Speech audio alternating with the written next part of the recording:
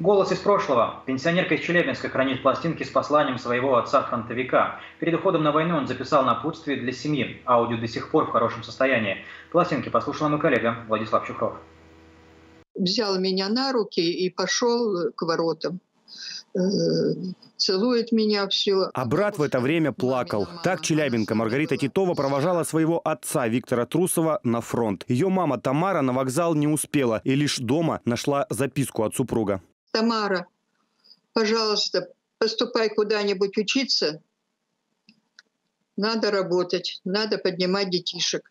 Но кроме записки, Виктор Трусов оставил и свой голос. Он записал послание на пластинку. Потомки сохранили ее. И даже сегодня боец как живой говорит с семьей.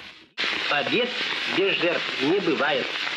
На тебя, как на мать, возлагается новое время быть главой семьи, воспитывать наших славных ребятишек, Риточку и Юрика.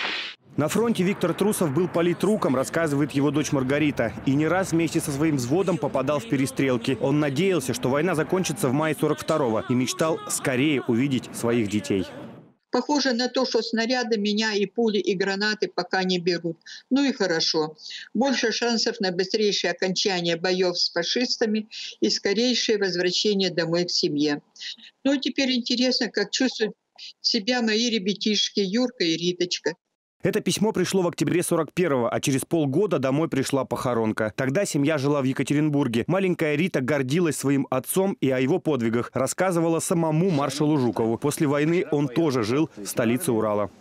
Мы, значит, с ним постоим, поговорим. Он э, расспрашивал нас о родителях, я ему рассказывала о папе. Он нас угостит конфетками такими простенькими. Потом семья переехала в Челябинск и с собой привезла всю память об отце. Пластинку, письма с фронта и фотографию, которая была с ним в момент гибели. Владислав Чухров, ОТВ.